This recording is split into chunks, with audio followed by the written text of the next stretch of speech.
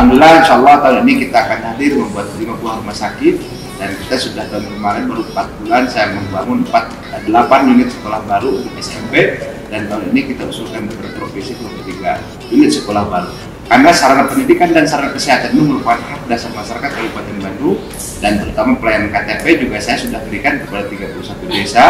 yaitu anjungan dukcapil mandiri. Jadi membuat KTP nggak usah datang lagi ke Soreang tapi cukup di desanya masing-masing. Ini adalah merupakan pelayanan yang tentu sesuai dengan harapan dan keinginan masyarakat Kabupaten Bandung. Yang keduanya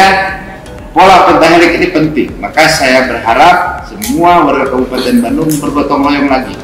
ya kita sama-sama dan alhamdulillah kemarin sudah kita lakukan program pentahelik dengan normalisasi sungai 12 km tanpa APBD pun bisa selesai dengan program pentahelik yang jelas semua diajak dan alhamdulillah wilayah Rancaikek dan sekitarnya tidak mengalami banjir lagi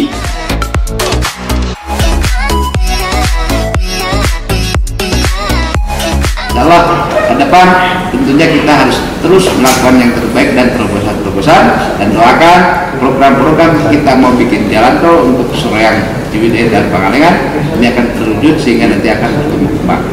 Dan program gaji sudah